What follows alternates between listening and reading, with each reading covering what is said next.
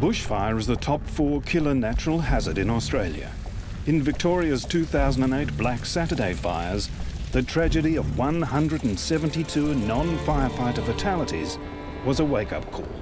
New research into fire safety is sorely needed, and in critical bushfire safety issues, RMIT University is providing world-leading research.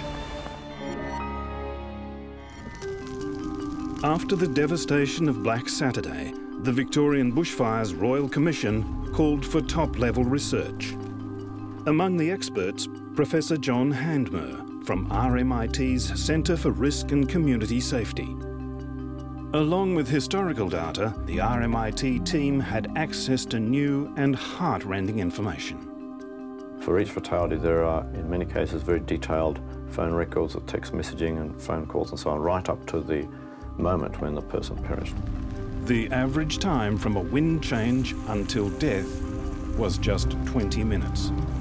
Even well-prepared households were caught. And in the light of so many fatalities, the old question was re-examined. Should people stay or go? But a lot of people were waiting for a trigger to implement these plans. Uh, there was an expectation that that trigger would come from an official source for many people, and unfortunately it didn't.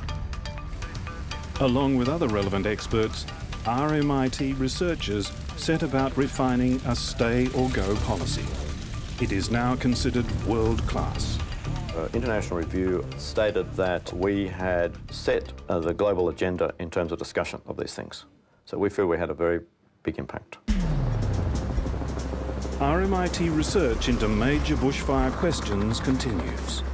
How economically effective are aerial firefighting appliances?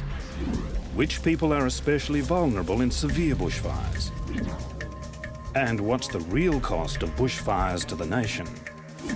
With its world-class expertise in geospatial sciences, RMIT is now uniquely positioned to explore fire warning systems of the future.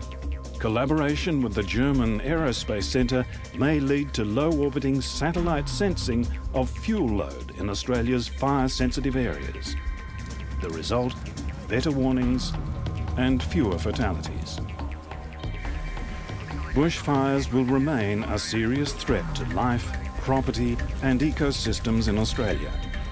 RMIT remains at the forefront of research to minimise the impact of this potentially catastrophic natural disaster.